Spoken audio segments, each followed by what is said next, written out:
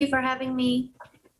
And so, so you are a Swede and you are married to a Filipino. First off, how long have you been living in Siargao? And we know you have given employment to many locals. Tell us about life there before Typhoon Odette.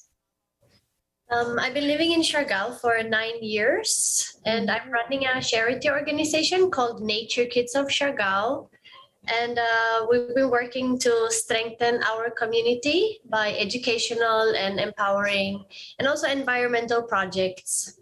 Mm-hmm. Uh, so that's what I did full time before the typhoon. Mhm. Great way to live. now, could you describe for us what you went through uh, during the onslaught of Typhoon Odette and how are you coping so far? Um, well, we live in the north of Siargao, so that was one of the worst hit parts. Even if the whole island is wiped out, we also get the storm surged. Um, so me, my husband, and my daughter, we tried to stay at home first. We have a concrete house, but um, the waves um, in our area were getting dangerous. So last minute, we were able to evacuate to another private house a little bit up the hill. Um, and then uh, once in that house, I thought we're gonna be okay, but the roof started coming off. Um, I was uh, sorry. Um, it's hard to relive again. Um, so me and my daughter and our dogs were hiding in the very last corner of the house, trying to um, hide in a toilet, where my husband was crawling to the other rooms, trying to get whatever furniture or mattress to um, to try to put on top of us because we don't know if the roof will also come off where we are and we will be exposed to whatever is flying in the air. But miraculously, we made it. Um, I think it's just minutes from not making it. Um, and then, yeah, we're just waiting there all night uh, because it's so flooded in our town. The water is. My husband went out because we're worried about our dogs. Other dogs, they're stuck. So the water is um, until my my husband's uh, chest Mhm. um, in our town. and uh, how are you coping so far? Um, we were evacuated to Manila five days after the storm, and I'm very, very grateful because my daughter got very ill. Um, so she was able to get medical care. Uh, me too, I'm sick now, but nothing life uh, threatening. But we haven't really slept because we're just working 24 7 to try to get uh, as much help as possible to the island. I'm, I'm so sorry you and your family had to to go through all that, Sunny. And um, how, how is the state of Siargao now in the aftermath of Odette? Is the power back? Any progress with uh, destroyed infrastructures?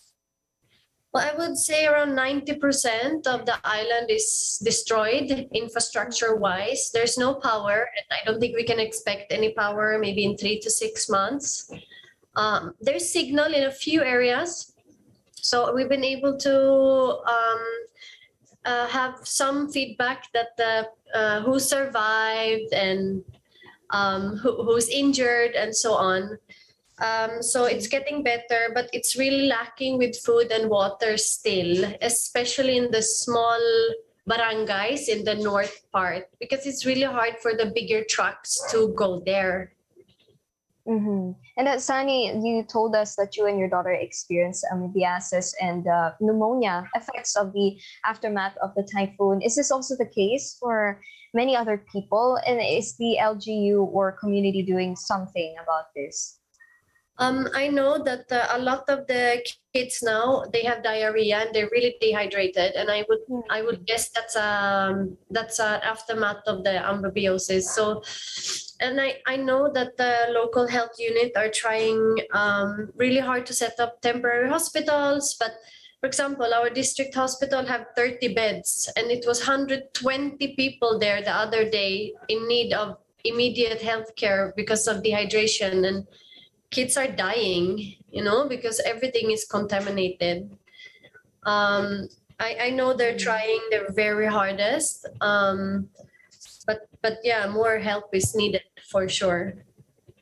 And uh, Sunny, you are organizing relief operations and other relief goods in, in Siargao as founder of Nature Kids of Siargao, as you mentioned earlier. Uh, how are you going about this, and how many areas have you so far sent help to? Um, well, we are um, we're trying to just support the local governments and the barangay halls uh, because those are the one who can reach the really remote families and they know also exactly how many families are living in each barangay so what we mm-hmm. do is that we created a distribution hub uh, it's my private house actually because it still had the walls and the doors left mm-hmm. So we were able to try to patch it up with some metal roof and we turned it into a hub where everyone who has private donations can give their items and then we repack everything and we give to each barangay captain so that they can reach those families.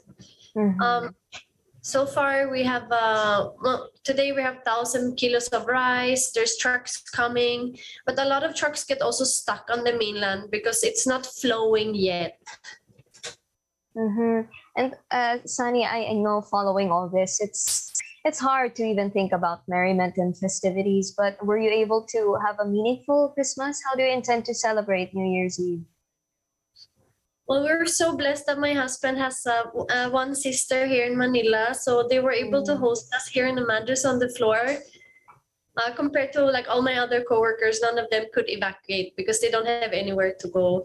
And my mm-hmm. sister-in-law, she actually made like a Christmas tree for my daughter, and they, she Christmas gift. And even if we weren't really in a festive mood, me and my husband, my daughter, I think she was able to you know stop asking mama are you sad are you sad she could actually have a day or two where there was joy and excitement that's really, really good to hear. And um, Sunny, we're giving you this opportunity to appeal for help to our viewers. Uh, what what is Siargao most in need of? How can people help as well in your initiatives? Well, thank you so much for the opportunity. I really appreciate it. So our name is Nature Kids of Siargao. We're a registered uh, charity organization, and um, I know a lot of people are sending goods but there's more and more goods available uh, internally on the island. So what we need now is the monetary help to actually purchase things that already exist because we were able to source a truck for two weeks. So whatever we can buy in the small stores that have supplies, we can bring it to those very small uh, barangays in the north. So monetary help is and just mm-hmm. spreading this this video clip and just talking about it because international media they they don't really talk about Rai. So mm-hmm. just spreading the word. All right uh, sunny thank you for all you still do for for Siargao. thank you for also being on the program. We we hope things get better very soon. Happy holidays. Thank you so much nikki. Thank you